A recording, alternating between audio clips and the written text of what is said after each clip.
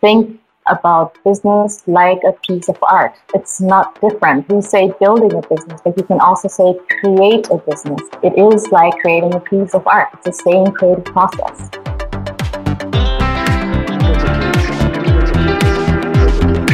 I am your host, Mitch Bowler, and this is the Pencil Kings podcast. Today's guest is somebody that you might not have thought about hiring before, but I think you definitely should have somebody like this in your life if you are struggling as an artist and you want to make bigger strides towards making art into a real career. So today we've got Yamile Yemoonyah. Yamile, she has a unique name. Let's start there. Where does your last name come from? What's the origin of that last name? Which nationality? Okay, so wow, that's a long story because I myself was born in Colombia and then um, I was adopted by my parents who are Dutch. Um, but I grew up in Germany. But my first name is actually Arabic, and my last name um, comes from the goddess of water, Yemanya. That's like a, a African goddess, but that's also still uh, revered in um, Brazil today. So she actually has like a, um, a national holiday, I think, uh, somewhere in February, I think 15th or something. That's where that comes from. Wow, so your name is literally like you you just told me a story that your name is planted in like two countries and you yourself were born in one country and then were sort of raised in another country so you're literally a yeah. global citizen. Yeah. Would you say absolutely. that's correct? All right. So quick backstory, Yamile and I we met maybe 18 months ago or so. I thought it was really cool that she was an artist and um but I didn't know too much about what exactly she was doing then. So to start off, why don't you give people a really quick introduction about what you do and how you're working with and helping artists? Sure. So, um, what I do is I'm a business coach um, specifically for artists. Um, I got started doing this um, by first building websites for artists because i am an artist myself. And in, I don't know, when was this, 2008, I had my first art site up. And um, back then, I didn't have any money to really hire someone to do my website for me. So I started learning all about WordPress and um, plugins and themes and all the stuff that you need to have a WordPress site. And um, so I started building my first website. And people asked me, other artists asked me if I could help them with that. And then later, I figured out that most people, when they have the website, and that also happened to me, um, you have the website, but that's not really enough. You can't just wait for people to come by your website and buy something. You have to start learning about marketing and SEO and all that other stuff that you need. So that's what I did. And then I started also um, publishing um, blog posts on my site about uh, marketing for artists. And so that's how I got into the whole business side of things. Awesome. And I don't know if you should call yourself a business coach for artists. Now, you probably know better than I do, but I just feel like for artists, when you say the word business and thinking of myself, if I go back to when I was the most I would say the most purist on my art path when I was probably about 17 years old and drawing, you know, for four, five, six hours a day. If somebody told me business, I was like, no, you know, I would, I would take my clothes and unstitch like the Nike logos off them. You know, you, it's so ridiculous. You know, you buy this expensive sweater and then you take off the thing with a little stitch ripper. But well, basically, I, I want people just to get into a state where they can think about the possibilities. If somebody could help you, just take what you're doing now, except make maybe, you know, double the money, triple the money, 10 times the money because they put you onto a path that you might not be thinking about because you're focused on your art and they're focused on all the stuff that's important and around it that you actually need. That if you ignore this stuff, you're going to be kind of falling on your face. So let's take a step back and tell people a little bit about how you got started. I know you said you were working on the WordPress stuff, but let's talk about how you got started actually working with artists. People were contacting you, but what kind of specific questions did they have, and um, what were they coming to you? Well, with? most artists that came to me in the beginning were people that um, didn't even think about selling their art. It was more people that did art but it was also fashion designers or um, musicians. And it was mostly my friends here in Berlin where I lived for 10 years. They, like I said, like they saw that I started doing this stuff online and they were curious about it. So they asked me like, how does it work with the website and how do you get people to your site and do people really buy online? And this was like back in 2007, 2008. So nowadays it's much more common that artists are online, but back then there weren't many. So yeah, so I helped them. I helped my one friend um, who's a fashion designer set up her first website, and she's doing really well now. Um, yeah, and that's really how I got started because I'm an artist myself. I had so many artist friends, and I really wanted to help them get out of their nine to five jobs. So is it like you're sitting at a cafe talking with their friends, and like, "Hey, what's up, Yamile? What do you what do you, what what are you working on right now?" And you tell them, "Oh, you know, I'm building this website. I'm starting to get these people that are coming to me and, and they're finding my website. And then the artist is like whoa stop. You've got a website and people are coming to you without you having to go and contact them.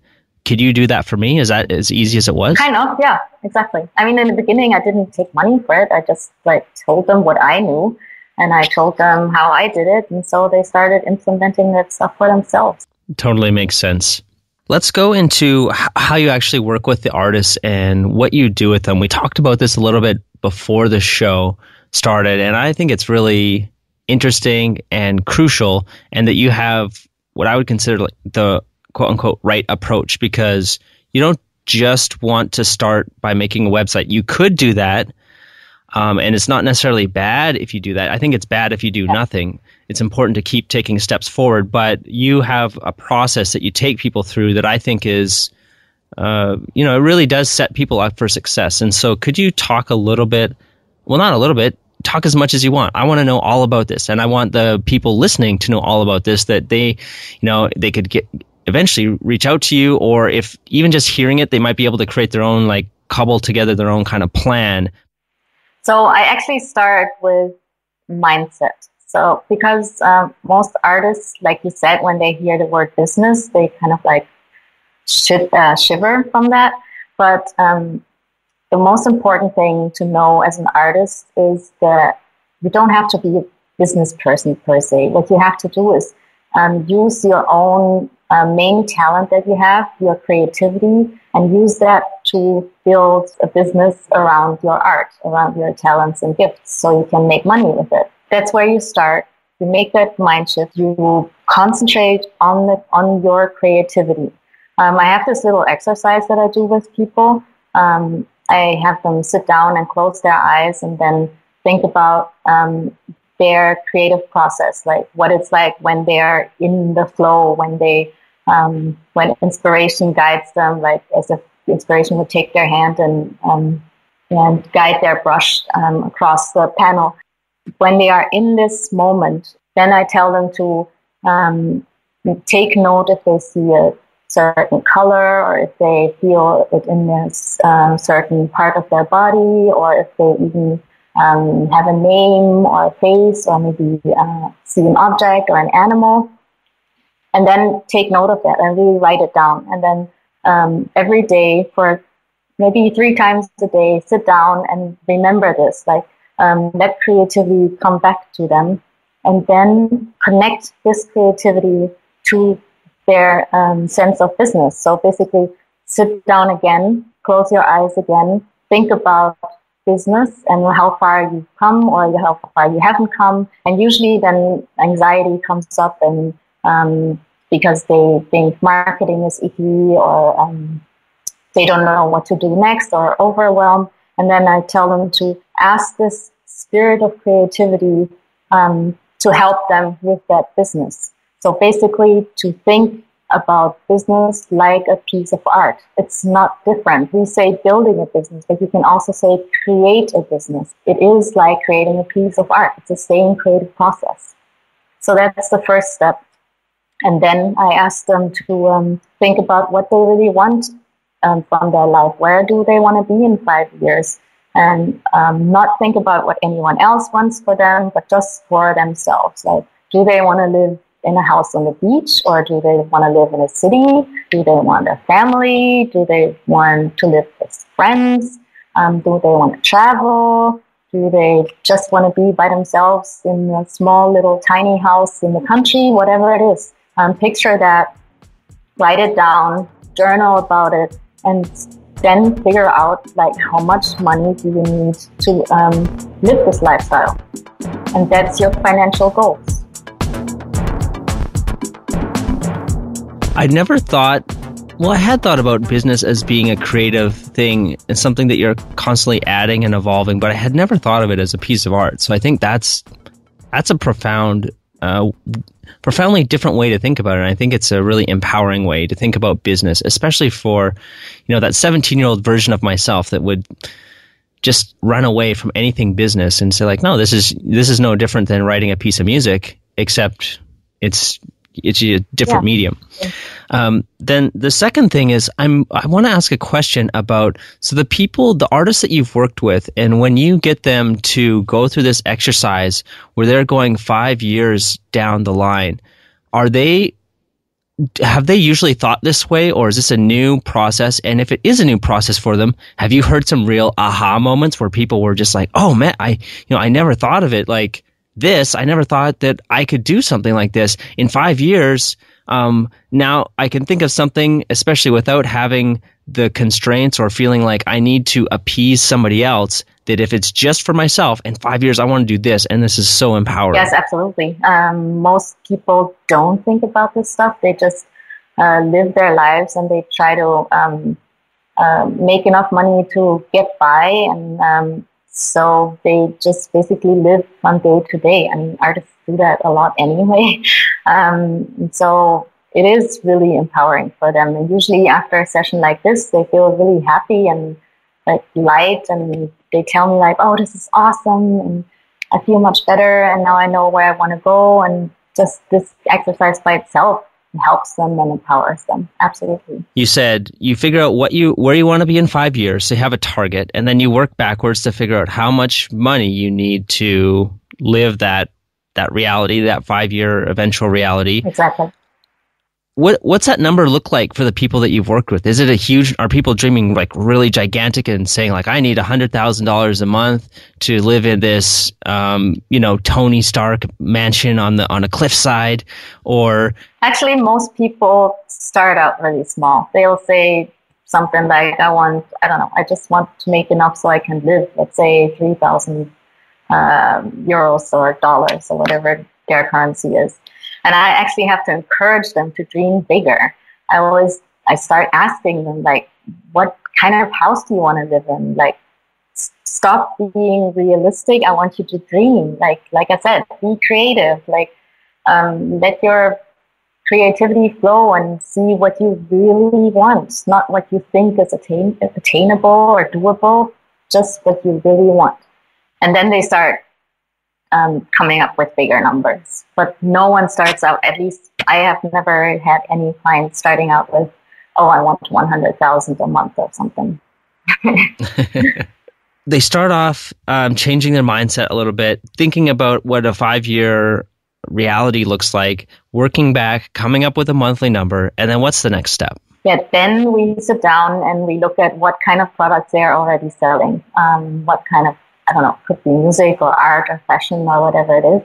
And then um, sit down and write down how much of which product they actually sell. And then they see that there's like a difference between where they want to be and where they are now. And then we start working to make this uh, goal more attainable. So what kind of products are you selling? Maybe they um, have to raise their prices or maybe they can repurpose their um, products. Let's say they're painters and they only sell um, um originals. Then I tell them, no, maybe you want to sell prints or maybe you want to start selling postcards or um, maybe um, put your paintings on stuff for the bed or, or on plates or cups or whatever it is and then we start thinking about that, what they like, um, what they don't like, and so we um, make this product line bigger, and um, we also start thinking about what other things they have that they like doing. Some of them like to do workshops and teach other people how to um,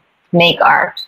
Um, all these things, we come up with a big list of stuff, and then we look at what's um, realistic, what they really like doing, what could bring the most money, and so we create this product line that um, really can bring in the money that they want. Oh, that's fantastic. And I mean, I've thought of a lot of, of possibilities to do with art, but I've never gone to plates and cups. That's uh, dinnerware. I think that's a a great one. I, I would have no idea how to even get started with that, but I'm sure it's not that difficult. Somebody's done it. The information's out there.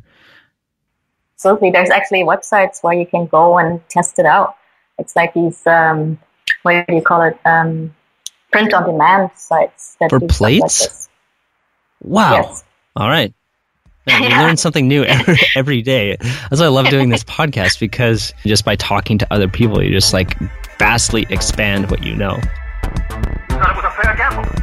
Either I'd find myself or get it out of my system. Okay, so I'm gonna play devil's advocate here. So we created a big vision. Uh, you've given me ideas for um, creating lines, but somehow I feel like it's just not possible. Like I'm just not good enough. Uh, nobody's gonna buy this stuff. You know, I, I sell a few pieces here and there, but this just sounds like it's all too much and it's all too much work. What would you say to somebody, somebody who's a little bit stubborn like that? Well, there's people um, that say or that are afraid that their art is not good enough. Um, what I tell them is usually, uh, well, there's seven billion people on the planet. I'm pretty sure there's enough people that like your art. Um, that usually is enough to. Then they go like, oh yeah, well that's true. I mean, so many people. um, and what was the other question? Sorry. I, I don't know what your I can't say what your process is, but if somebody comes to you with a lot of resistance, because I'm sure it must happen, how do you help them get past that? Well, that's again uh, basically a mindset thing, um, and it's uh, like you said, mainly overwhelm. So um, I sit down with them and break this big plan that we just created down into like really small steps. And what I also do is I have them um, use Trello to um, create their to-do lists. And then I um, have the system that I use in Trello and that, that I teach them as well. So I have um, one column for the whole year where the big project projects go, and then I have one for the month. So I take one um, big project and break it down into monthly projects, and then I have one for the week and one for the day. So you have these big projects on the right, and then you make them smaller and smaller and smaller until you come to today. And then it's just like a little thing that you can do today, like um, uh, figure out the next seven social media status updates that you want to post. And then when they have like these small steps in front of them that they, that are really attainable and easy, that's where the overwhelm stops. Oh, I love it. And for those listening that don't know what Trello is, or I'm not sure if it's Trello or Treo, but it's a website, T-R-E-L-L-O dot com. It's like to-do lists, but it's a little bit different. You'll have to check it out for yourself to see what I mean, but it's really effective and a lot of people are using it as a great organizational tool for things that you have to do. Uh, can you give us an example of tasks that you would give to somebody? I know, like for myself, I try and do this and I always overestimate what I can get done in a day. yes. um, well, I don't give them the um, tasks. It's more like we create them together. So let's say they want to put their art on a plate. Um, that's the big goal. Like I want to have my art on plates and cups. So that goes in the I don't know uh, the yearly um, list, and then uh, we break it down to let's say what are you, what can you do today? Go to that website where you can do it. Um, look at um, how it's set up. That's all for today. And then tomorrow maybe um, sign up for that website. Upload your first design. So yeah just breaking it down into really really simple steps that you can do and that are easy to do. I tell people do like at least work on your business at least 10 minutes a day. Sure, it's better to do half an hour or an hour, but you don't have to do it all day long. Um, just do one little step every day and you'll get there eventually. Oh, totally. What do you think is possible? Let's say for myself, I do very graphic style. So let's say three to four colors, hard outlines on things. I feel like for me, I'm going through my own resistance here live on the, on this podcast is that so like could i put that on plates? Would people buy that? I you know i'm i'm just not i'm still not sure myself. Maybe plates is not the best for this style. I'm not sure. I would have to see it. But um, yeah, there's all kinds of other things that you can do. I think, um, um, for example, prints would do really good with this kind of style, or um, maybe, like I said, stuff like cello cases where something that's bigger where you can see it better, or maybe even on bed linens. I think that would go really well. Bed linens. Yeah. Wow. Okay. So you're just eh, blowing my mind here with the possibilities. Because, you know, I've thought of there's art, you know, it's, it's on everything around us. But what, let's say somebody, let's say someone's a, a comic book artist. What do you think is possible for somebody like that that does comic books? Um, if they, let's say you could take them all the way, like to 100 miles an hour with with doing like a lot of products and they're really eating it up what is what would you envision that reality looking like? Well i think um, it's not really about having 30 different um, products. It's more about finding out which ones work the best for you. So i wouldn't even recommend to have that many. Let's say more like 10 or maybe even just like three. And then um, find out what works best and then you systemize it and then um, you start selling more and more because you have systems set up, and then you can uh, really really take advantage of the product funnel that you that you built and uh, make basically as much money as you want, and that looks different for everyone. I mean, so, like you said, some people want one hundred thousand a month. Um, others want three thousand a month. So it's really about you, what your goals are. It's all attainable. Definitely. I love it. I I'm like have this giant smile on my face because I can feel that my own mind of what's possible has just been expanded. yeah, this has been great.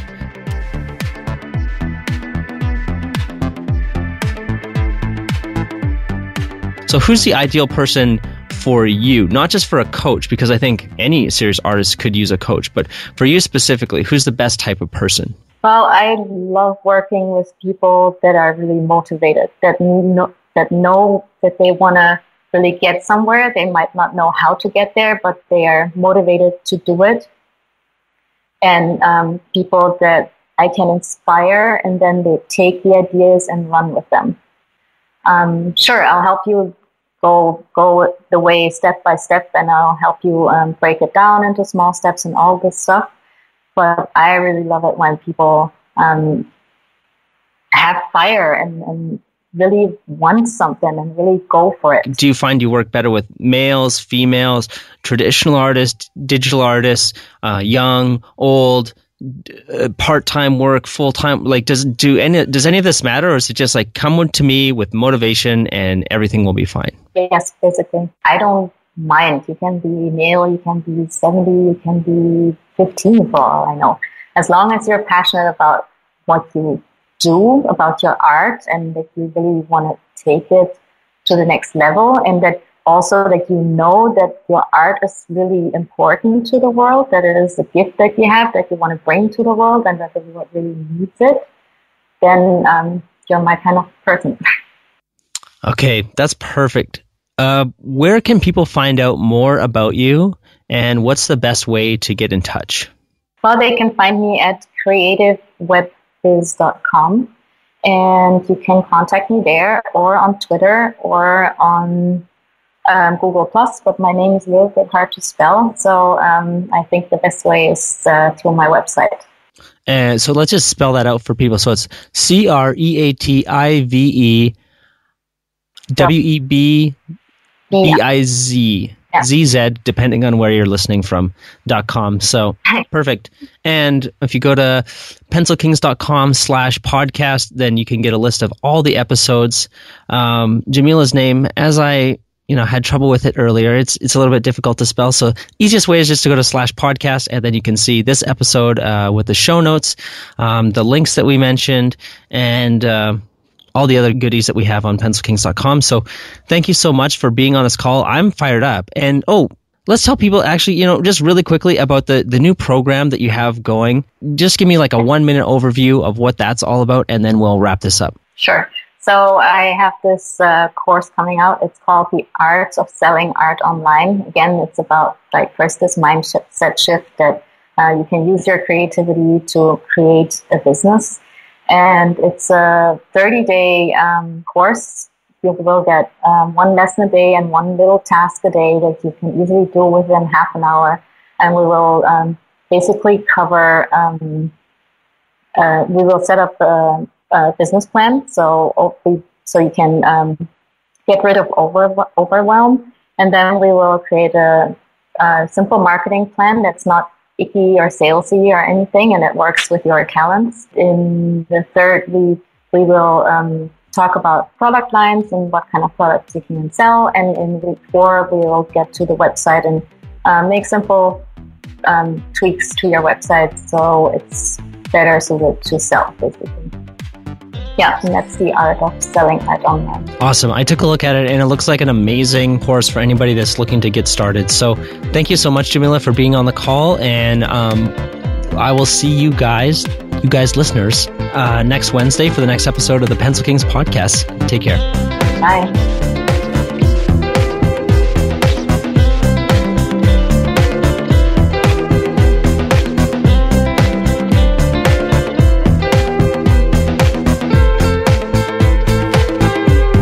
Does it for another episode of the Pencil Kings podcast.